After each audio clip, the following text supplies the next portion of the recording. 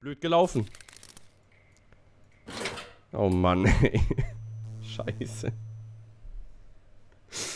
Oh Gott. Natürlich war es riskant. Es war riskant. Nichts wegen der Schleusentoilette zu unternehmen, Captain. Zu, dein, zu deinem Glück hat sich die Tür von alleine geöffnet. Wahrscheinlich, weil sie durch den Geruch, Geruchsstau ko, wat, korrodiert wurde so ein Pech, dass das all diese Gesundheitsprobleme verursacht hat. Doch andererseits ist es zu 100% ein menschliches Problem, was bedeutet, es ist zu 100% eures und exakt 0 zu meins. Äh, äh, exakt zu 0% meins. Du bist am Verhungern, Captain. Eine Portion Suppe wäre nicht schlecht. Baby ist am Verhungern. Ohne Suppe wird er nicht überleben. Tom ist am Verhungern. Ohne Suppe wird er nicht überleben. Ich denke, wir werden jetzt mal was zu essen verteilen. Ähm. Können schon mal hier das das und das machen. Und gucken mal, was der Computer zu sagen hat. Der Hauptcomputer. Captain, ich spüre eine beunruhigende, äh, einen beunruhigenden Aufbau an physischer, äh, psychischer Spannung. Empfohlene Maßnahme. Schmeiß eine epische Party. Ich nahm mir die Freiheit, mich selbst einzuladen. Die gesamte Besatzung einladen? Aber klar doch. Je mehr, desto lustiger. Schätze ich. Wie wär's, wenn wir jemanden neuen einladen, hm? Captain? Jemanden, den du nicht kennst oder wir suchen uns einen neuen Gefährten. Genau. Wie stellen wir uns an? Wollen wir jetzt die Sockenpuppe einladen? Ey, komm. Guck mal, die Sockenpuppe guckt da oben die ganze Zeit. Wollen wir die Sockenpuppe einladen zu unserer Party? Komm, Leute. Ey, die muss doch... Ich will gar nicht wissen, was die Sockenpuppe für Dance-Moves hat, ne? Also, das kann ja nur geil werden. Die Sockenpuppe muss dabei sein. Es geht gar nicht anders. Es geht gar nicht anders. So, Sockenpuppe. Jetzt nochmal ganz kurz. Nochmal ganz kurz. Ähm, so weit oder so wäre GT1. Ich sehe gerade, du hast hier gerade 10 Subs rausgeballert, du Wahnsinniger. Ähm, dadurch, dass ich hier gerade noch in der Aufnahme bin, ne, also das äh, wahrscheinlich auch auf YouTube erscheint, werde ich das alles nachholen, ne? Aber soweit, GT, vielen Dank für deine 10er Subbombe. Ich hole das nachher alles nach, ich lese das alles nochmal durch. Aber vielen, vielen herzlichen Dank schon mal, okay? Vielen, vielen, wirklich vielen, vielen herzlichen Dank. Sehr, sehr lieb. Dankeschön. So, wir nehmen die Sockenpuppe, Leute. Wir nehmen die Sockenpuppe. Die Frage ist, will die Sockenpuppe überhaupt zu unserer Party kommen? Das weiß ich halt noch nicht mal, ne? Das ist halt das Ding. Wir werden es rausfinden. So, Essen kriegen die Jungs. Haben wir ja gesagt. Sockenpuppe ist eingeladen. Let's go. Ähm, Tag 8. Hey, Party! Oh Gott, Tobi sieht nicht gut aus. Das war eine tolle Party, Captain. Ich fand es großartig, wie du gestern eine Socke über deine Hand gestülpt hast und so getan hast, als wäre sie ein Mensch. Offenbar einer namens Mary Jane.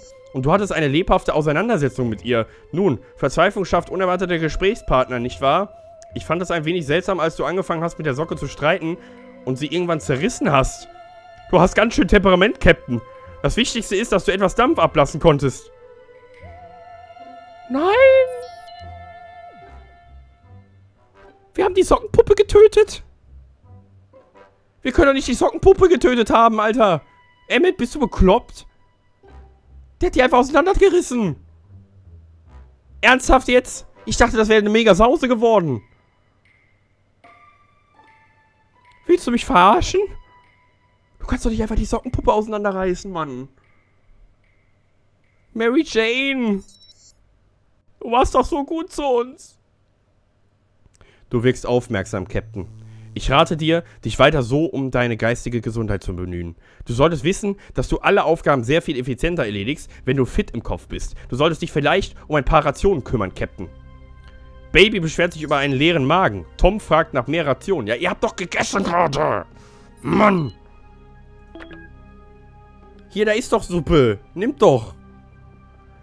Oh nein, wir müssen uns schon wieder entscheiden. Ich habe Angst. Captain, deine Aufmerksamkeit wird hier benötigt. Das ist ganz und gar nicht normal. Wir, wir, oh Gott, wir registrieren unbekannte Signale. Ich kann nicht identifizieren, wer sie sendet oder was sie beinhalten. Es könnte eine Störung durch eine Sonneneruption sein. Oder viel schlimmer noch, eine neue Art der Sowjets. Ihre Signale zu verschlüsseln. Wir müssen diese Signale so schnell wie möglich entschlüsseln. Nach allem, was wir wissen, könnte unsere, unser Überleben davon abhängen. Wer soll die Signale überwachen? Also Emmet und Tobi haben ja bisher so eher mäßig performt. Ähm... Tom Thompson hat bisher noch gar nichts gemacht und dabei hat er eine Augenklappe. Das heißt, er könnte sich mit seinem einem Auge komplett darauf fokussieren. Ne? Er kann dann nirgendwo anders hinschauen. Ist vielleicht nicht ganz so schlecht. Nehmen wir den Tom, oder? Komm, Tom Thompson, Alter. Tom Thompson, hau raus, Alter. Wir setzen das Vertrauen in dich, mein Freund. Jetzt hast du mal deine Chance, dich zu beweisen, ne? Tom Thompson. So, ich würde sagen, Tag können wir beenden. Licht aus, gute Nacht. Jetzt bin ich mal gespannt mit den Signalen. Tag 9. Das sind bestimmt richtig geile Signale. Erster Kontakt. Was? Captain, das musst du dir ansehen. Ich bin wirklich nicht schnell aus der Ruhe zu bringen, aber das ist einer der größten Momente für die Menschheit und die von Menschen geschaffene KI.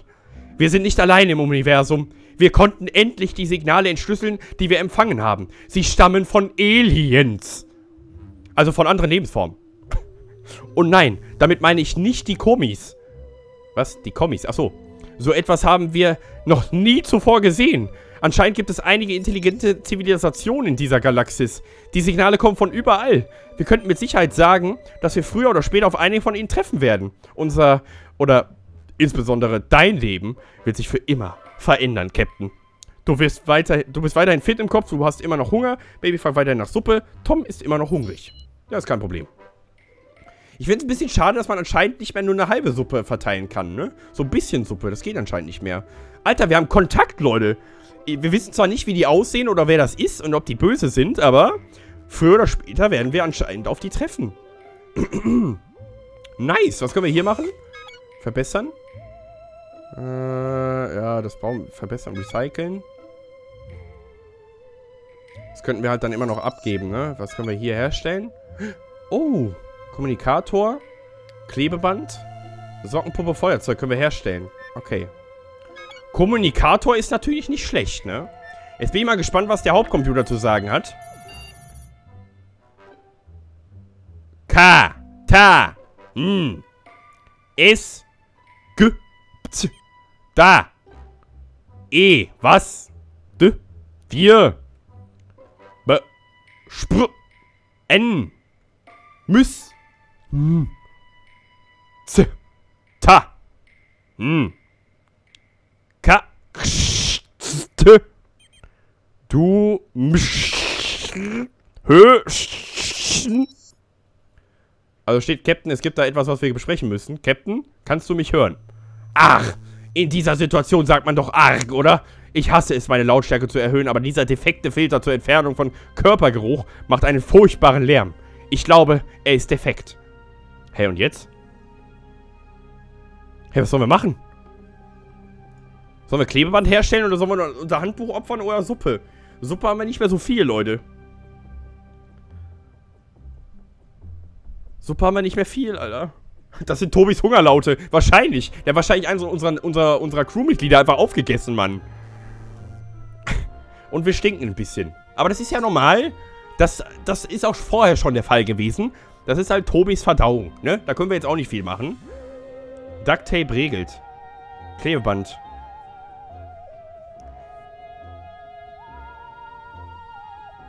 Handbuch, Handbuch.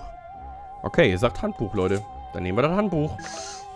Ihr seid für die Zukunft von diesen werten Männern äh, zuständig, ne? Und ich natürlich auch. Aber ich sag ja nur. Okay. Wir beenden Takt 9. Ich hoffe, das war kein Fehler. Ich hoffe, es war kein Fehler. Klebeband, ja. Klebeband, natürlich. Tag 10.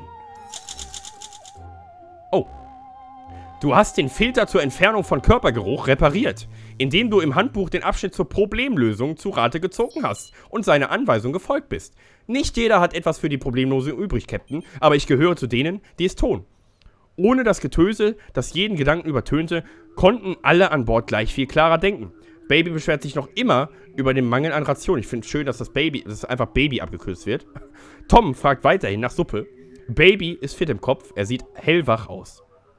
Ja, der sieht auf jeden Fall hellwach aus, der Tobi. Baby Tobi sieht auf jeden Fall sehr, sehr hellwach aus. Würde ich auf jeden Fall meine Hand für ins Feuer legen, dass der Tobi mega geil am Start ist gerade. So, was sagt denn der Hauptcomputer? Oh, wir haben eine kleine Metallschachtel in einem der Fächer gefunden. Darauf steht, an Sert. Bitte öffnen. Eine kleine Metallschachtel in einem der Fächer gefunden. Bitte öffnen, okay. Du, kann, du könntest das Schloss auseinandernehmen und dir so ein paar Materialien sichern. An den Inhalt kommst du dann aber nicht. Du könntest auch versuchen, sie zu öffnen, wenn du dann geschickt genug bist. Wofür entscheidest du dich? Intelligenz? Oder Beweglichkeit? Oh Gott. Oh Gott, also so würden wir natürlich ein paar Materialien kriegen, wenn wir wahrscheinlich einfach das kaputt machen. Aber wir wissen ja auch nicht, was da drin ist, ne? Da könnte ja auch geiler, geiles Zeugs drin sein. Äh, Intelligenz oder Beweglichkeit, Leute. Ich bin mir da echt nicht so sicher. Ich bin mir wirklich nicht sicher. Also mein erster Gedanke wäre jetzt Intelligenz gewesen.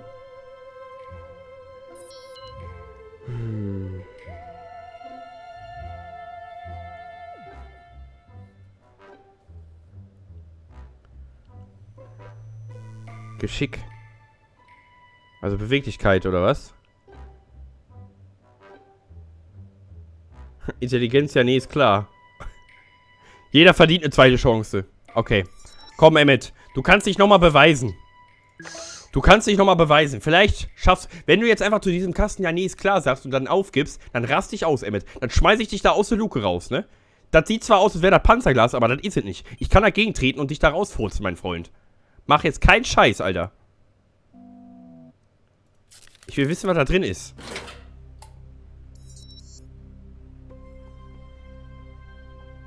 Tag 11. Du hast das Schloss von der Schachtel, die du im Shuttle gefunden hast, vorsichtig auseinandergebaut. Hör mal, Emmet, ey, alter Emmet, du bist so eine geile Sau, ne? Wie vorhergesagt, war die Schachtel nicht mehr zu gebrauchen. Also hast du deine ganze Aufmerksamkeit den Einzelteilen des Schlosses gewidmet. Die Einzelteile waren nicht so nützlich, wie wir dachten, aber das Schloss wurde durch eine Batterie betrieben. Du konntest die problemlos vom Rest der Teile trennen. Du bist im Verhungern, Captain, isst besser etwas und zwar schnell. Das Ding ist, wir haben jetzt eine Batterie bekommen. Wir haben jetzt eine Batterie bekommen, Leute. Ist das nicht der absolute Wahnsinn? Ja, wir müssen uns, wir müssen uns was zu essen geben jetzt. Wir geben uns jetzt was zu essen.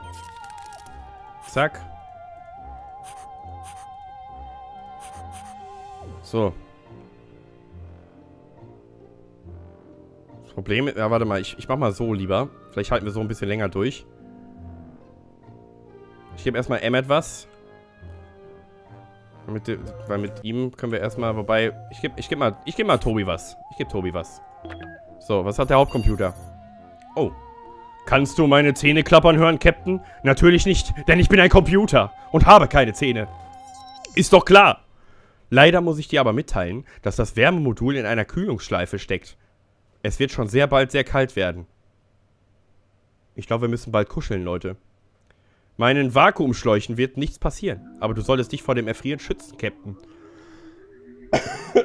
oh nein. Oh nein. Was machen wir denn jetzt? Alter, wir müssen, wir müssen uns was craften. Wir müssen uns ein Feuerzeug craften, Leute. Wir müssen uns ein Feuerzeug bauen. Sollen wir uns ein Feuerzeug bauen oder eine Handpuppe? Sollen wir uns ein Feuerzeug bauen, Leute?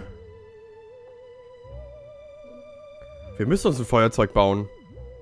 Bau alles. Nee, ich will ja nicht einfach alles bauen. Ich weiß ja nicht, wofür ich die, diese Ressourcen sonst noch brauchen kann. Feuerzeug.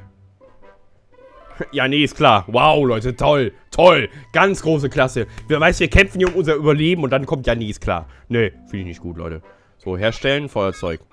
Ja. So. Okay, dann nehmen wir das Feuer... Ach, das geht ja gar nicht. Das geht ja jetzt noch gar nicht. Das gibt, dafür müssten wir den Tag beenden. Oh Gott. Das war komplett umsonst. Wow. Wow, das war ja komplett... Hätte ich das mal gewusst, Alter. Ja, toll. Wir können uns nicht schützen. Oh mein Gott, wir werden so erfrieren jetzt. Wir werden so am Arsch sein, Leute. Wir sind gleich tot. Nein. Tag 12.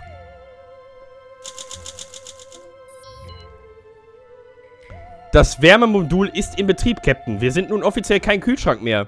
Aber was ist denn das unter deiner Nase? Ein Eiszapfen. Hey, ich sehe da doch gar, da ist doch gar kein Eiszapfen. Captain, ist das ein Astro-Bürger-Shuttle oder ein Iglu? Denn ich sehe da kaum einen Unterschied. Ich würde dir raten, deiner Besatzung Medikamente zu besorgen. Dein Magen knurrt immer noch. Iss etwas, bevor es zu spät ist. Baby ist weiterhin hellwach. Tom sieht immer nur noch, immer noch ausgehungert aus. Herstellung abgeschlossen, neuer Gegenstand verfügbar, Feuerzeug. Ja, toll. dir geht es nicht gut, du siehst schwach aus, Captain. Um ehrlich zu sein, ist das ziemlich schlecht. Denk drüber nach, dich mit einem Erste-Hilfe-Kasten wieder zusammenzuflicken. Bevor es zu spät ist. Baby beschwert sich über einen leeren Magen. Tom ist ganz eindeutig angeschlagen. Scheiße. Hä? Alter, Tobi, du hast gerade was gegessen? Willst du mich verarschen? Das ist nicht dein Ernst. Okay, wir geben uns was zu essen. Und ihn hier noch sowas. So. Bei einer routinemäßigen Bereinigung meiner Datenbank bin ich auf einen Bauplan für eine Apparatur namens Fluxkompensator gestoßen. Wenn wir ihn installieren, können wir so einen Weg nach Hause finden. Er muss allerdings erst zusammengebaut werden. Willst du versuchen, den Fluxkompensator zusammenzubauen? Leute, wir müssen den Fluxkompensator bauen. Das geht nicht anders. Wir müssen ihn bauen, oder? Natürlich müssen wir ihn bauen. Leute, lass mich jetzt nicht allein mit der Entscheidung hier. Komm. Wir, wir, ne. Hm. Fluxkompensator. Ja, sicher. Let's go. Wir bauen ihn. Wir bauen ihn aber sowas von. Die Kuh wird uns helfen, Leute. Ich sag's euch. Die Kuh wird uns dabei helfen. Nur wenn es einen DMC DeLorean dazu gibt. Ja, natürlich. Das ist ja die Voraussetzung dafür. so. Wir bauen jetzt diesen Fluxkompensator, Freunde. Und dann rasten wir aus. Wird bestimmt voll toll. Tag 13. Oh Gott. Oh nein. Du hast gestern versucht, den Fluxkompensator zusammenzubauen, aber alles ging furchtbar schief. Eine falsche Bewegung hat dazu geführt, dass die Vorrichtung explodiert. Du wurdest zwar verletzt, aber zum Glück wurdest du nicht irgendwo hin oder irgendwann hin teleportiert. Baby beschwert sich immer noch über den Mangel an Rationen. Tom wirkt immer noch schwach. Du fühlst dich schon viel besser. Du bist nicht mehr schwach. Du solltest dich vielleicht um ein paar Rationen kümmern, Captain. Tom fragt nach mehr Rationen. Alter, Junge, Baby also Tobi, der rastet die ganze Zeit aus wegen Essen, Mann. Warum hat der da so eine Welt hingemalt? Oh Gott, Tom Thompson sieht ja richtig schwach aus. Ach du Scheiße. Was mit dir passiert, ey? Heilige Makrele, was ist denn hier los? Was ist das denn? Ist das die Batterie? Ja, ne? Ich glaube, das ist die Batterie da unten, ja. Okay. Oh Gott. Captain, wir bewegen uns nicht mehr. Ein Roboter hat uns fixiert. Ich übertrage seine Nachricht auf den Hauptbildschirm. Möchtest, möchtest dem Universum Gutes tun? Die Flaumschuppen brauchen deine Hilfe. Ein Bild von einem Tier. Höchstwahrscheinlich eine Flaumschuppe. Er streckt sich über den Bildschirm. Es ist eine Mischung aus einem Wildschwein, einer Schlange und einem überfahrenen Tier? Ich dachte, der Tobi ist bei uns hier in der Kammer.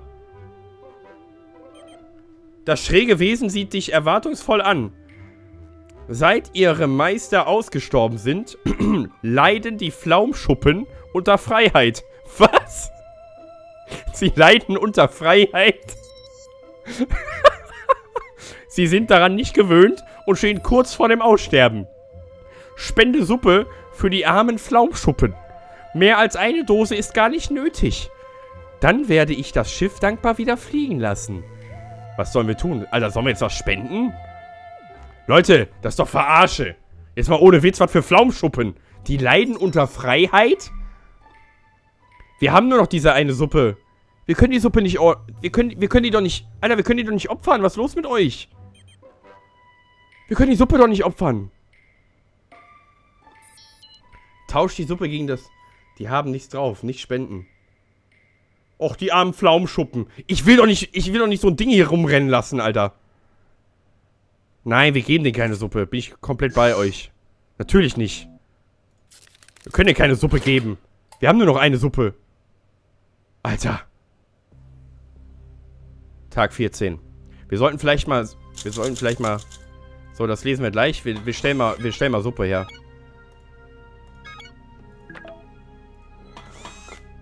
Okay, Suppe wird hergestellt. So, was hat der Computer? Der spendensammelnde Roboter sprach vom Leid der Flaumschuppen. Du hast das getan, was die meisten Menschen tun, wenn sie einem Spendensammler begegnen. Du hast ihn ignoriert. Das stimmt gar nicht. Der Roboter gab sein Bestes, doch er traf auf eine Gleichgültigkeit, die die Moai-Statuen der Osterinsel wie Cheerleader aussehen ließe. Schließlich gab er auf und verschwand.